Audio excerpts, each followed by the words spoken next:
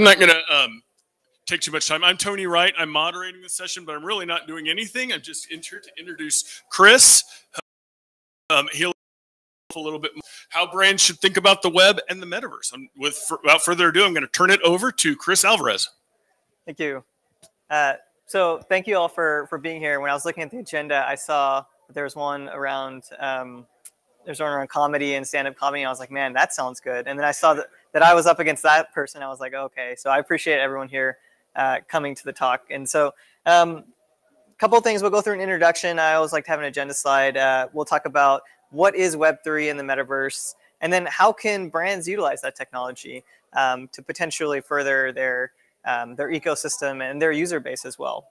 Uh, so a little bit about me. Uh, I've been working for a company called PMG for about the last 10, 11 years now. Um, I started as employee three. We were in the small shop in Fort Worth, Texas. Uh, we were in basically a closet at the time, and, and, now we've grown. We work with some really, really cool brands. Uh, we, we just um, onboarded Nike, which is really, really exciting for, for us here. Um, I lead our Alli technology, which is our internal marketing technology um, and, and data and insight solution.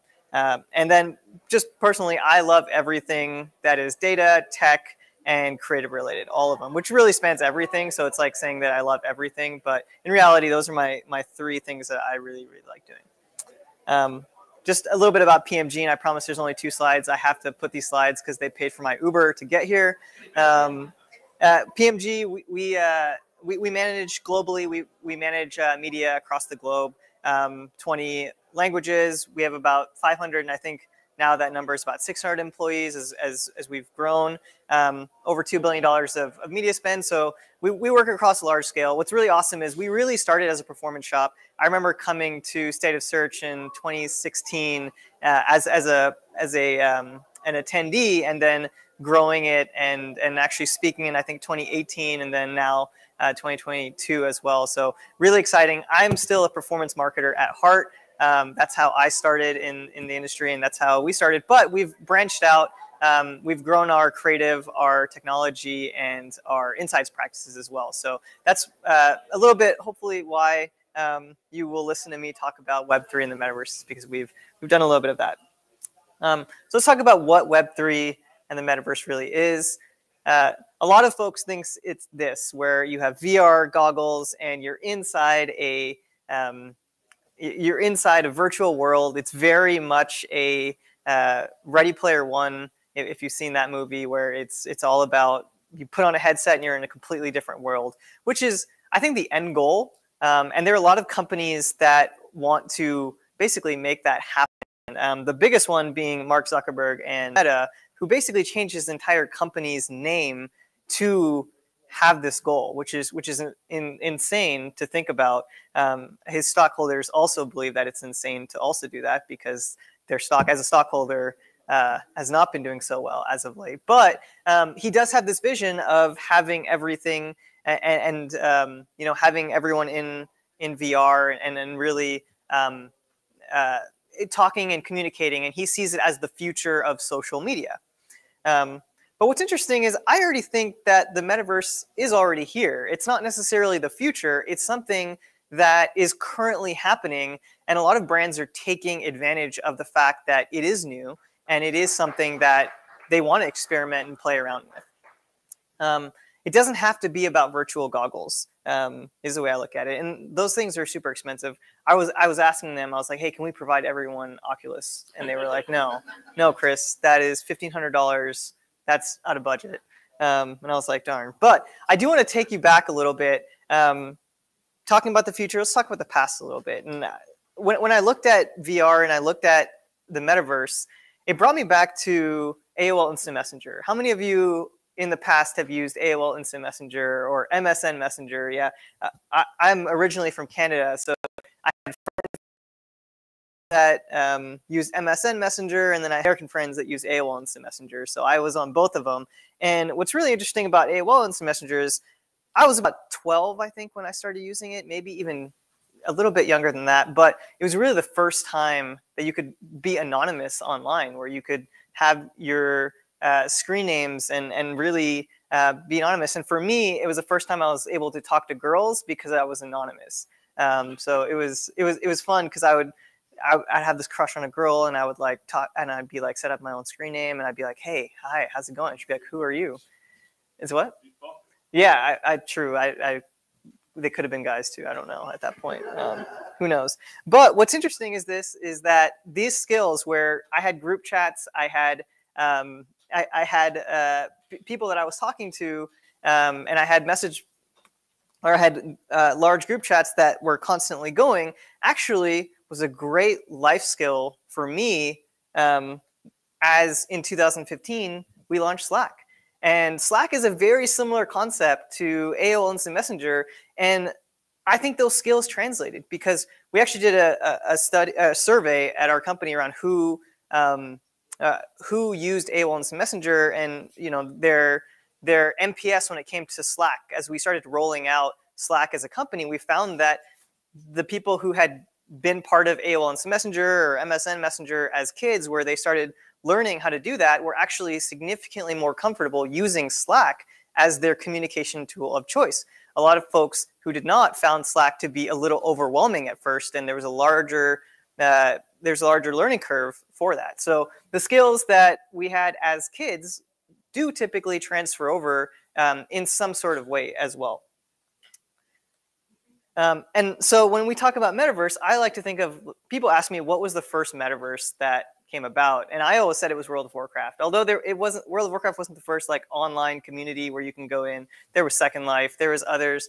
But I feel like this one was the first one that actually sort of broke ish mainstream where you had friends who were meeting other friends that were virtual and they were meeting together they were meeting online um, we actually i have a coworker who is from new zealand who met her husband who's in Texas, and and that's actually how they got together was they played World of Warcraft. So even that story about people getting married over uh, by meeting over World of Warcraft is actually a, a, true story. And so I didn't believe it when I first met her, and she said she met her husband on World of Warcraft, but it's absolutely true. And while World of Warcraft was, uh, you know, a, a not as mainstream as as some of the other stuff is today, today we see kids and, and we see young adults playing in metaverses as in the same way that we as millennials and and and and uh, uh, that, that we had um, AOL Instant Messenger. They're, they're playing Roblox. They're playing Minecraft. I cannot get my cousin to stop playing Minecraft in the car. Like when I'm talking to him, like it's just on. It's just there, and like it, he is in his zone, and he's playing with his friends. They're all in the worlds together. They're building worlds, and some of them he he hasn't. You know, they moved. Uh, two years ago, and he's still chatting with them. He's still playing with them in Minecraft and in Roblox. So it's it's really interesting. Um, and then, so if we fast forward a little bit, the way we look at the way I look at it is in 2020, COVID hit. Uh, we had lockdowns, and we had remote work, and remote work started to become a really uh, really a, a, huge part of how we operate businesses. Um, we still talk about um, hybrid models and like how people wanted to work remote. And it turns out that people liked actually working remotely. Uh, people liked doing Zoom calls and being able to not have to commute an hour there and an hour back during rush hour traffic uh, was a good thing. And so it did leave a gap, though, where managers and, and people were not getting FaceTime with their employees. And so um, there, there are actually companies that are trying to figure this out from uh, this one's called EXP Realty that has their own metaverse where there's actually conferences and there's uh, there's an IT desk where you can actually uh, walk up to somebody who works in the IT department and if they're online that'll show up they'll their metaverse character will show up. It's it's a really really cool experience. And when I look at things like this I think back and I say those those gen those gen zers those gen alphas who are right now playing Roblox, are they going to be more comfortable in an environment like this versus an environment where they're going to the office? And I look at it and I say, absolutely. Like that's how they're growing up. They're tied to that screen from uh, from 12 years old, and they're talking to their friends there. This is how they're communicating right now. Is through this metaverse where they can work wherever they want. They can work on an iPad, probably while driving in a Tesla that can drive itself 10 years from now, and, and they can just be working alongside their coworkers in this way. And so to, to me, this is a weird concept because I would never want to do this. I'd rather just have Slack. I'd rather have Zoom. Um, but are are the new generation going to feel more comfortable with this? Potentially, yes. And so this is why, as a brand, you have to start looking at this new virtual reality. Um, and I think this is something that is is super impactful to um, to the business and, and, and potentially how uh, how we look at how companies should be looking at it. Um, how looking at it, the metaverse. This is a great segue for new people coming in. Uh,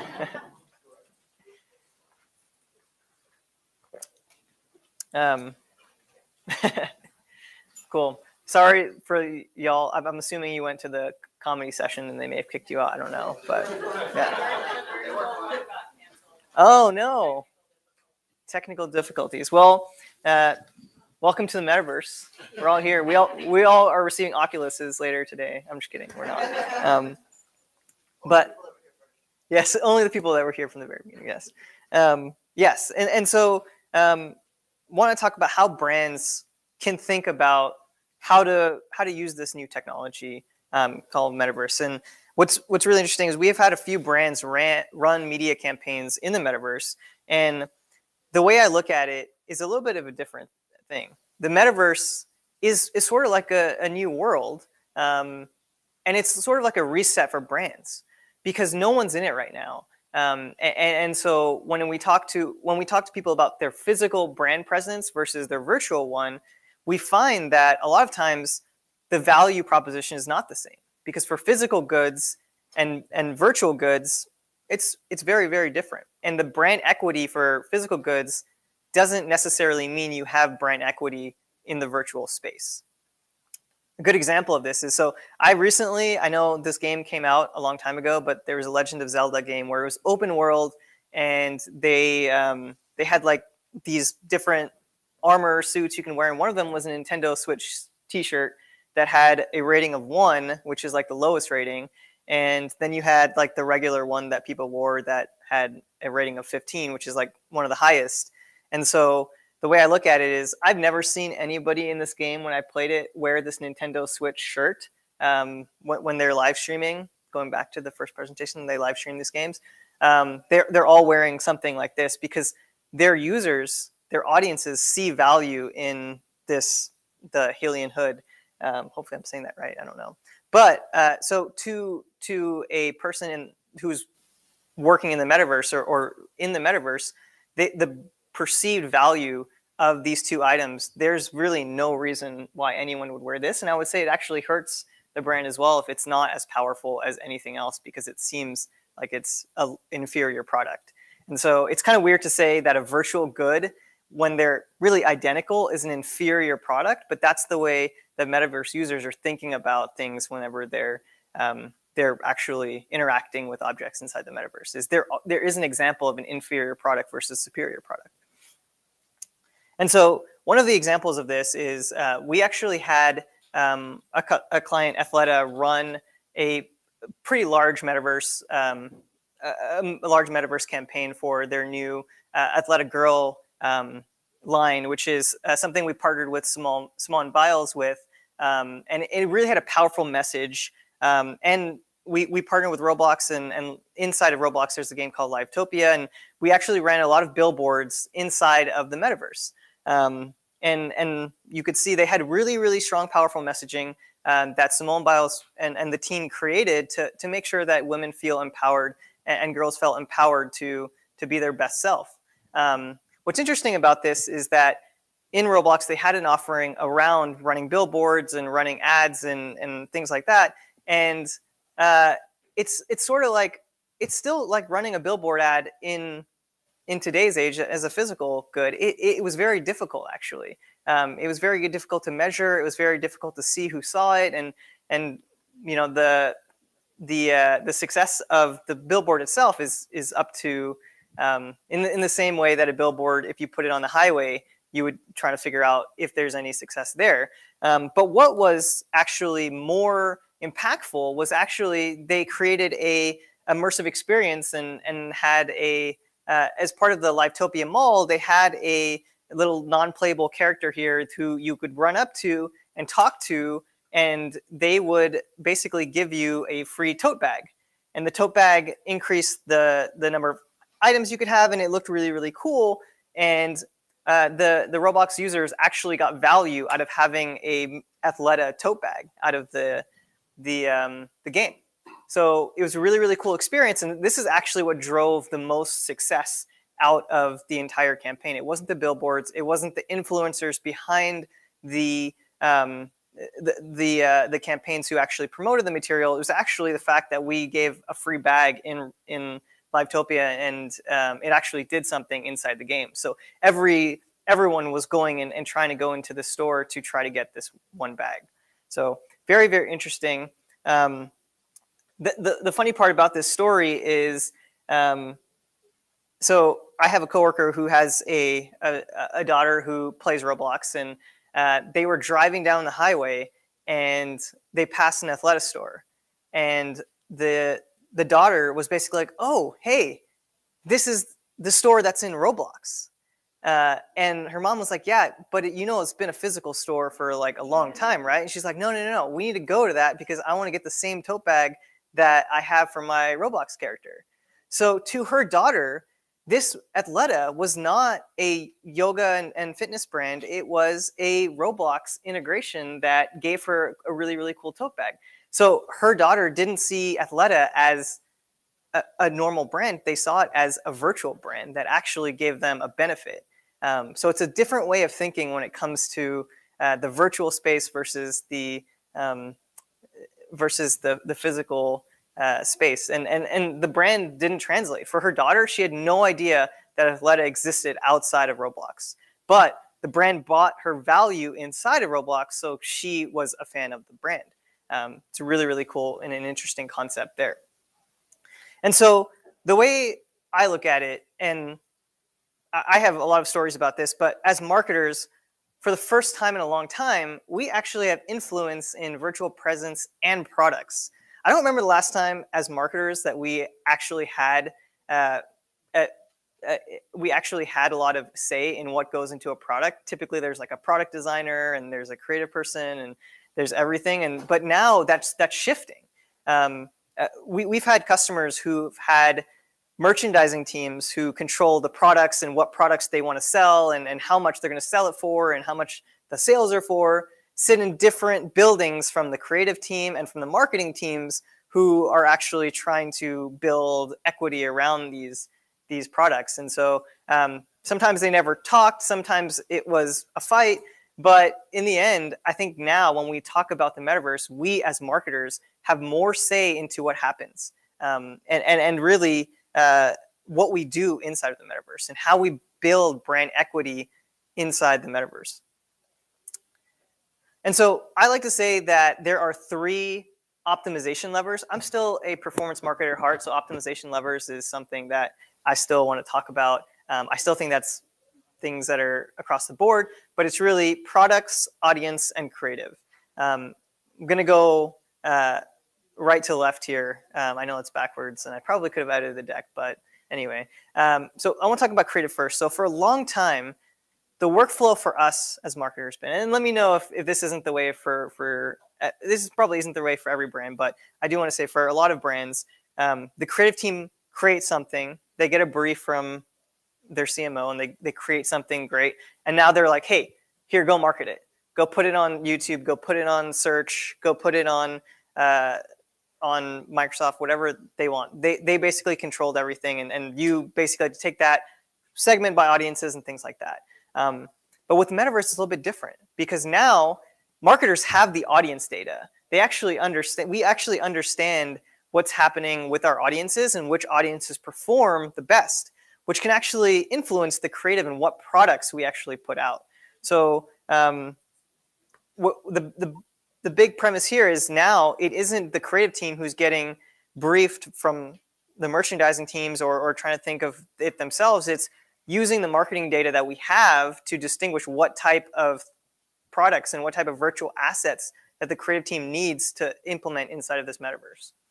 Um, and the last one is is products. And so this is going to become really, really impactful in the future. Um, oh, sorry, my slide got kind of messed up. But the, the big, the big, uh, the big thing here is with products and product feeds, as we scale as marketers, I know um, if you are running SEM, you typically have product feeds. That's going to be even more important as we start to scale into having metaverse first creative and and um, and, and having products and virtual products inside the metaverse. In the same way that you have you have um, uh, physical products, you'll also have to have virtual products that can actually scale uh, that can actually scale out and, and do a lot with.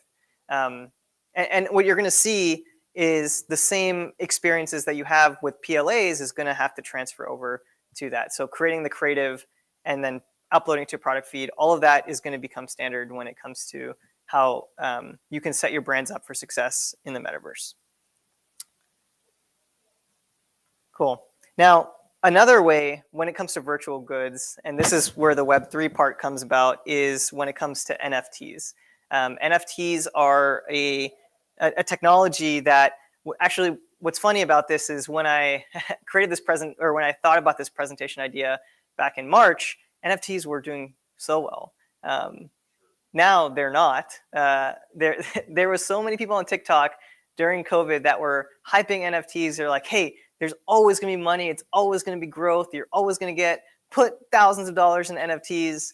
And now it has really, really crashed. And and so I was luckily one of the, luckily for me, I was one of the people who uh, didn't had never invested in NFTs um, because you had to see value out of them. And and and really, um, there was hard. It was hard to get value out of a random token that you know there there was it was not backed by anything. Um, and, and so for, for those of you who, uh, I guess I should go backwards and say, um, for those of you who want to know what NFTs are, NFTs are basically um, a small group of characters on a bunch of servers uh, that you say you own, and those servers validate that you own uh, that those bunch of characters um, called tokens. So they're, they're really tokens. Um, and if somebody else claims that they own those same number of tokens, it goes into these multiple servers and then it tries to say who actually owns this. Do you own it or do they own it? And they validate that way. That's my uh, 30 second spiel on, on how blockchain works. I, I could be trying to, I could be completely wrong on like the nuances of it, but that's basically the gen- general premise is that there's a bunch of servers that validate each transaction that happens. And, and so they know the record of each character or each token that that happens across the board. Um, and so uh, there are brands that can actually do NFTs really, really well. Um, but for the most part, NFTs have fallen significantly um, as they weren't providing any value. And I think the biggest reason that NFTs actually collapsed in, in 2022 is there's just too many of them. There was no exclusivity. There was no um, it was very very tough. I know there was the, the, these NFTs that had um, had the apes and, and Adidas actually launched out some uh, some tokens that looked really really cool that had the Adidas logo and and they they had um, the pictures around them and they did successful at first, but then everyone just started copying the images and then putting them up as their own NFTs. So that artwork that they created that was supposed to be backed by an NFT was just copied over and over again. Um, so it's kind of interesting where it, it could have been where um, where if, if it had been exclusive, then it would have been great, and I think it would have been looked at really really um, successfully. But because it was able to be replicated so frequently and, and copied so much, it, it lost a lot of its value. And so the biggest thing when it comes to NFTs, and actually looking back at it, this isn't something that is is is going to work for every brand. Um, use, using NFTs and blockchain as an exclusivity mechanism, um, which means the opposite and uh, uh, of this is if you want to do this, you have to be exclusive. You cannot be inclusive when it comes to this, right? If you start a token or if you put something out there as a um, as a token and, and as a virtual product, you can't make 100,000 of them because then that ruins the exclusivity of them. And this is a hard thing for brands to do. There's brands that do this really, really well in, in the physical realm, because, and I guess physical realm, that sounds so nerdy when I say it. Jeez. Um, there's brands that do this really well in the real world. Um, with Supreme being a great example of a brand that creates certain products and then never releases them again, even though they know that it can make them significantly more money if they just mass produced a certain item that's really really hot. They won't do it because they they know that brands trust them to make exclusive uh, exclusive uh, um, products. Same way shoe drops. So I'm actually a huge a huge sneakerhead.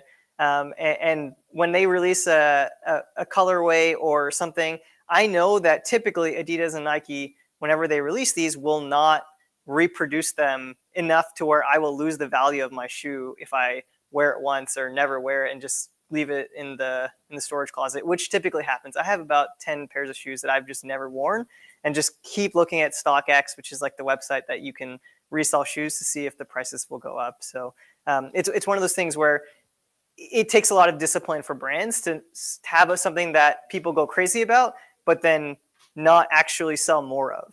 Uh, and that's that in itself is a hard concept to to grasp for a lot of folks. Um, and it may not be right for every brand as well.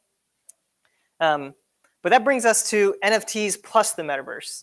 And uh, when, when we're looking at NFTs plus the metaverse, it's uh, there is actually a brand that has done this concept and, and done it fairly well, and that's Nike. Now, this was before we started working with them, so this is from an outsider's perspective looking in. Um, but they created a uh, they created something called Nike Land inside of Roblox that was really like a full-fledged amusement park, is what it seemed like inside of there. And with that, they actually uh, created these these tokens, and they actually created this brand within Nike called Artifact, R T F K T Artifact. I, I didn't get it for a long time. I kept saying like Rutzverrecht or whatever, but um, that's what it was, and it was it was these these objects inside of Roblox that were backed by Ethereum. Um, tokens and they were they would drop Nike shoes that were virtual inside the game that you could utilize and it would only drop a certain amount per day. I believe it was like 50 per day and you had to wait in line to get it and some people got it, some people didn't. My, cousin who was playing Roblox was asking me right when we got uh, right when he heard we started working with Nike that hey, can you get me these shoe these virtual shoes in Roblox? And I was like, I have no idea um, what that even was. And so uh, th- this is the sub brand that they created to bring out that um, that that buzz and and that thing. But a lot of folks probably haven't heard of that yet. Um, th- this brand, the sub brand inside of Nike, because again, it is exclusive. It is something that is something that people want, but you're not going to see everywhere. So um, it's it's a little bit of a uh, shadow brand, I would say, inside of inside of the virtual space and inside of Nike.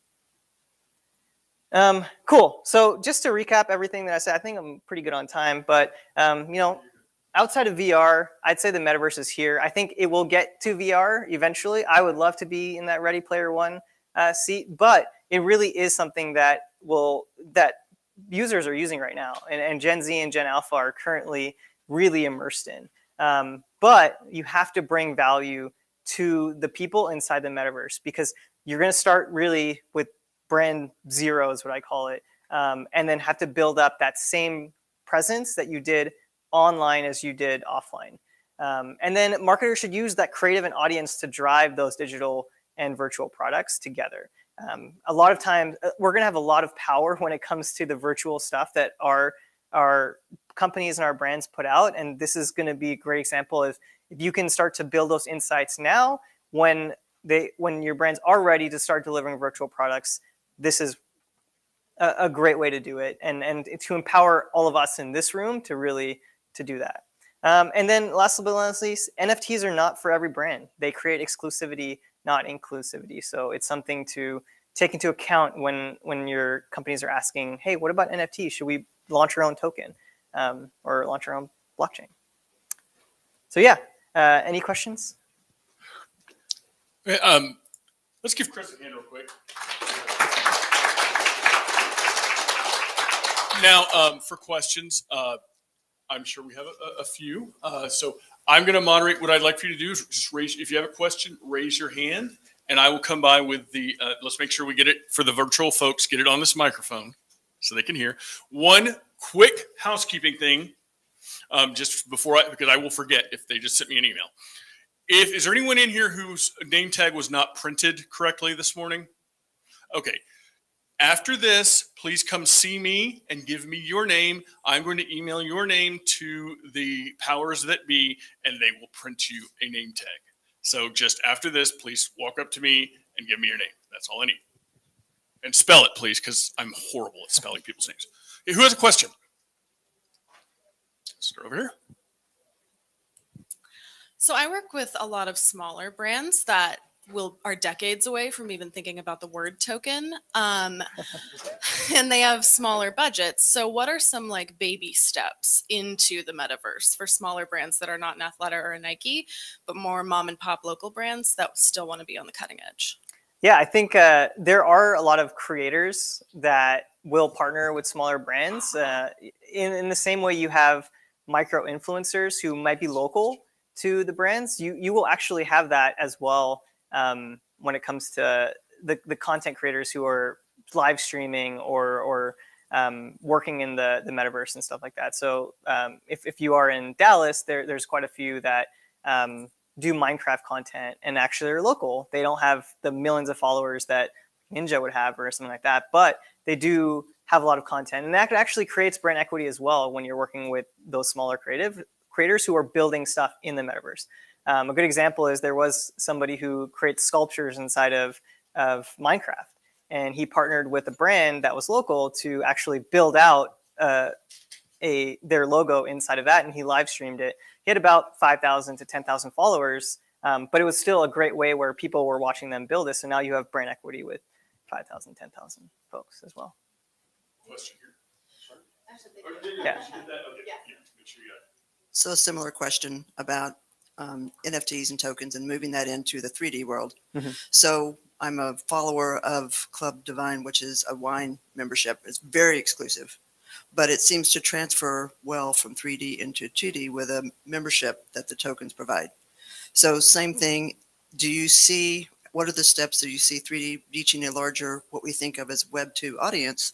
Because the Web 3 audience is really small, but it seems like Web 3 is going to want to get the Web 2 audience. So I guess the question is, how do we get to the Web 2 audience? Yeah, I, I think it'll eventually happen um, as more folks start to go. And like, I'm, I'm part of a product, I'm part of a product side as well. And there's a product life cycle to everything. We're still in the early adopters phase of like the Web3 side, but that will shift and, and, and grow as, as we start to get there. Um, the, the biggest thing is I wouldn't say don't force it. Like if your users are in a certain place and in a certain time, trying to force a technology on them typically doesn't work well. Um, it has to bring value to them, and that's the biggest thing. Is if you can bring value in some way to them, then it'll be easier than trying to force a technology just because it exists. Um, the way I look at it is Q. Do you remember QR codes back in like 2010? People were putting them on everywhere and like just stamping them on every product and like trying to get people to like have content that way, and it just didn't work because people weren't people didn't want to do it. It was like a new technology that was shiny because of mobile phones, but it wasn't necessarily ready for it. Now, in 2020, you'll see them on every single thing as menus apparently are now not a thing anymore restaurants. Um, you'll see, and people just know now to do it. So that's a great example of like an early technology that people probably tried to force and spent maybe a little bit too much money on, but then nowadays it's like, okay, I want to get more information. It's useful. It's valuable to me. I'm actually going to do it hopefully that answers your question. I know that was like okay. There's no small hack to do it. Yeah. Anybody else have a question? I have a quick question for you. Yeah. Um, let's talk about measurement. You talked a little bit about that, but uh, I think from my perspective, that's probably one of the hardest things as far as getting a brand to go in and adopt. Um, when they ask, "What can you expect? How are you going to measure? What do you, what what are you uh, what do you tell them when you're coming in? You know, whether it's Nike or mom and pop. I mean, what are the things that you tell the client as far as how they're going to measure, et cetera? Yeah, there, there's quite a few ways to do it. Um, the way we did it when we worked with Athleta on this was uh, it, it, we knew it wasn't necessarily there to drive conversions. Um, so we, we, had that up front. And we said, this is a new thing.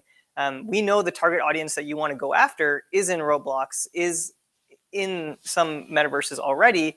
Um, and so what we did was we actually took a multiple approach to it. So having multiple KPIs, um, we took into account uh, and, and we surrounded the campaign with content as well. So we worked with influencers and, and micro and uh, micro influencers to um, post about their content, post that. So we were monitoring impressions.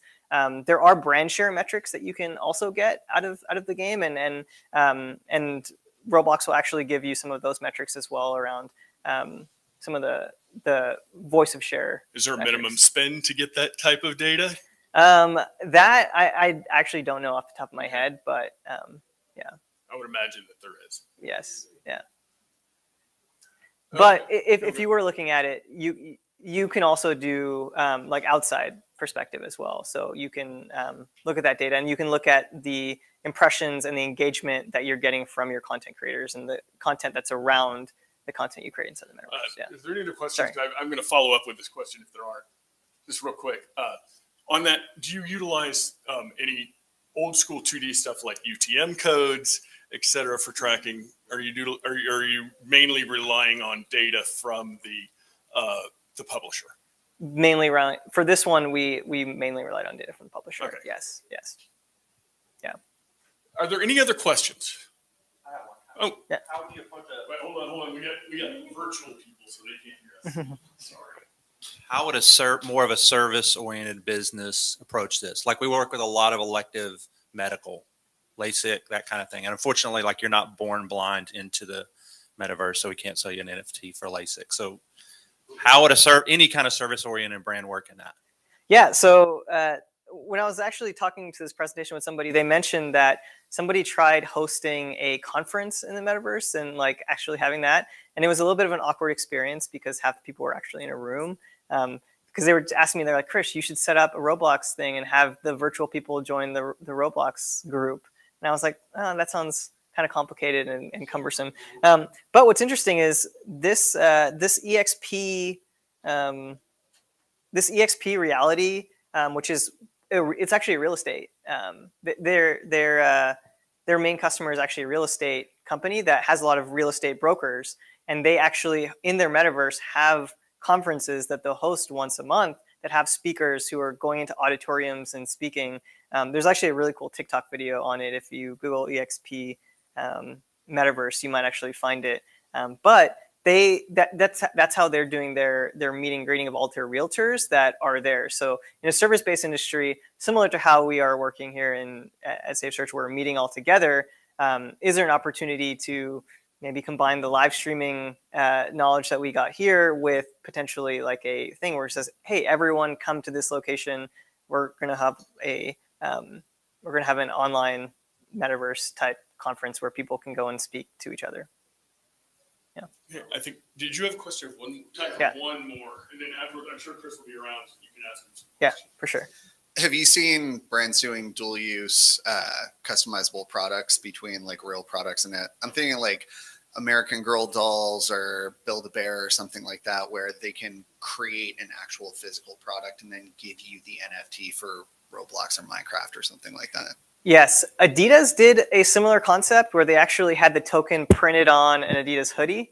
Um, that was a really really cool uh, concept as well. I, the the part where I've seen it break down a lot is now when someone tries to sell that, it's you can't necessarily sell the token with the physical good. So like the whole, it, it's great for collectors items that are never going to sell. But if you ever want to sell the collector's item, it, you have to make sure that you sell the, you have to transfer the the token plus the physical good. And typically, if you don't do that, then you lose the value out of it. So I think people are also realizing that before they're buying that and saying, well, I can sell the hoodie, but then if I keep the NFT, then whoever's going to buy the hoodie is are they getting any value out of it? And so it becomes more difficult. I, I actually read about people doing this with uh, baseball memorabilia. Like Yeah, playing cards and yeah. NFT to go along with that, but like when the NFT transfers, does the actual physical possession of the object. Exactly transfer. Yeah. So that's that's the hard part is policing that, and it's hard to to police it. Okay, well, unfortunately, I think we are just yeah, we're supposed to go to ten fifty. So Yeah. we are out of time. Um, but if you have any questions, please come up and ask Chris. And uh, thank you for coming out. And if you have any other things, anything, any other problems, those.